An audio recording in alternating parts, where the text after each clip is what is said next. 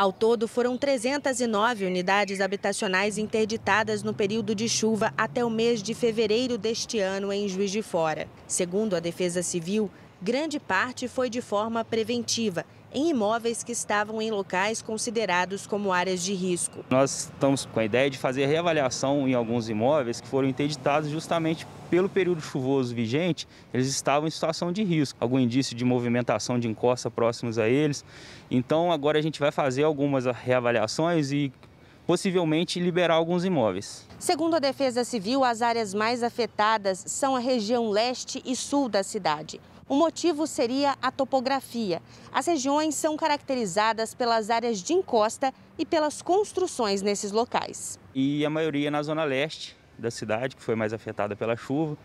E isso se dá devido ao número de áreas de risco que a gente tem na Zona Leste, principalmente bairro Linhares, Três Moinhos, Santa Rita. Devido ao relevo, ações antrópicas também, né? muitas vezes o, as construções não têm o devido direcionamento de água, e isso causa muitos transtornos, né? Muitas situações de risco para a própria população.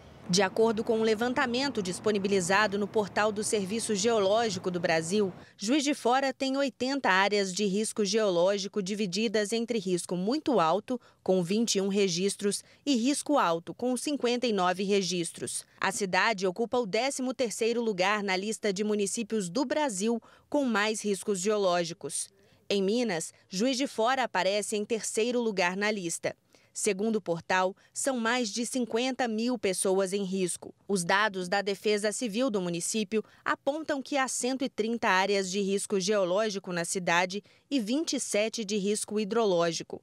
113 famílias estão desalojadas em Juiz de Fora não há registro de desabrigados. Dessas 130, o site do CPRM ele traz as 80 que são R4 e R3, que são risco muito alto e risco alto de escorregamento de solo.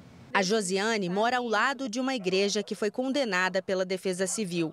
O imóvel fica no bairro Santa Rita e teve a estrutura comprometida depois que uma cratera se abriu na rua em janeiro deste ano.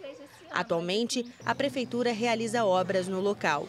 Desde que o problema aconteceu, a moradora conta que a casa dela apresenta rachaduras no chão e nas paredes.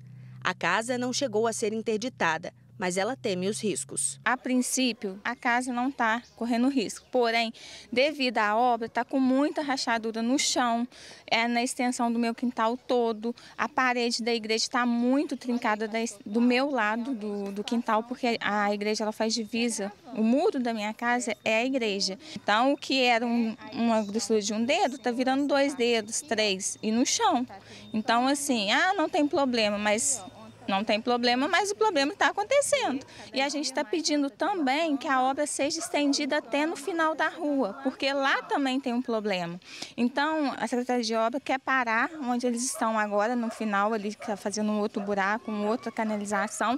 Só que a gente quer que seja estendida até o final, porque o problema está na rua também, está na mina. Tudo começa lá.